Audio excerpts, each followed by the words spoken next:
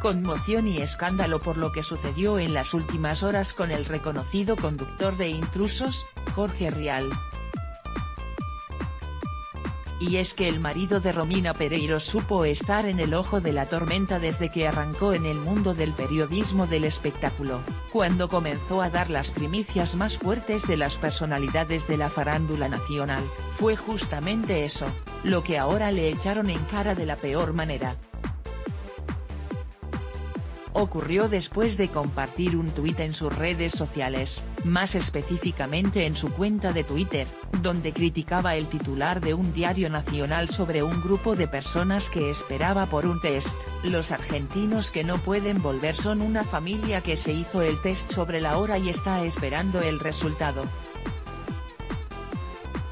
Pero es más fácil vender así, lanzó dejando muy en claro lo que piensa, a partir de allí, los comentarios de sus seguidores no se hicieron esperar, y aunque se vieron mensajes de todo tipo, tanto a favor como en contra, muchos de ellos dejaron muy mal parado a Jorge Rial, que nuevamente fue atacado sin piedad.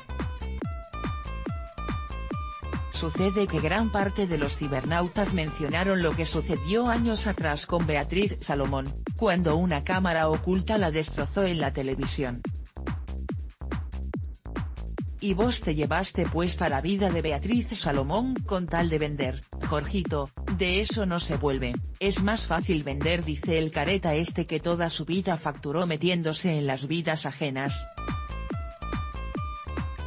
o los anunciantes en su espacio lo hacen gratis? Si sabrás vos de vender noticias. Marcelo Corazza, Beatriz Salomón, y siguen las firmas, arremetieron los usuarios furiosos con el periodista.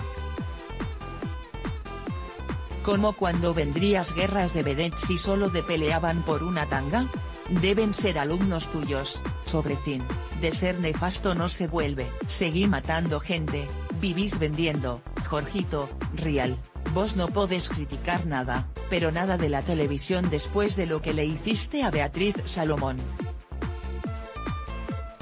Nada, ¿de verdad? No tenés vida hermano, no deberías estar disfrutando de tus vacaciones y tu germu, que te pones a desmentir titulares, lanzaron, Haz clic para compartir en Facebook, se abre en una ventana nueva haz clic para compartir en Twitter, se abre en una ventana nueva haz clic para compartir en WhatsApp, se abre en una ventana nueva haz clic para compartir en Telegram, se abre en una ventana nueva haz clic para enviar por correo electrónico a un amigo, se abre en una ventana nueva